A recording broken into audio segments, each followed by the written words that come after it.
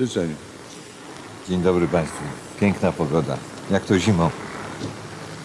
E, Ostatnio występowaliśmy dla Państwa w programach, które można nazwać e, monotematycznymi, takie były rozbudowane sekwencje dotyczące pewnej idei, prawda, czy, czy kwestii.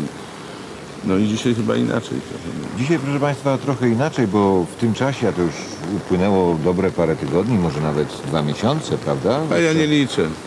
A ja też nie liczę. Ym, Po prostu nagromadziło nam się parę różnych takich drobniejszych pomysłów, no i parę spraw do załatwienia.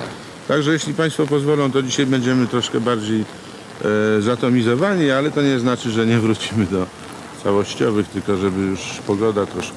No i żeby pozałatwiać te różne sprawy, które nam się nasunęły. No to zapraszamy.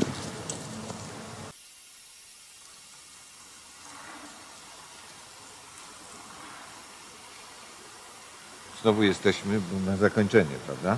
Chciałem wytłumaczyć, dlaczego parasola nie trzymam nad głowami naszymi, No właśnie, dlaczego? No teraz się zorientowałem.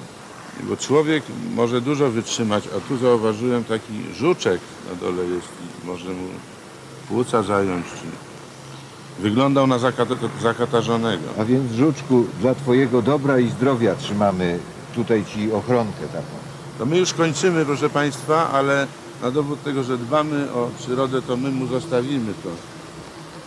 A sami sobie pójdziemy. Do widzenia Państwu. Do widzenia. Jak przestanie padać, to możesz zamknąć parasol. Tylko nie zniszcz, bo to pożyczone.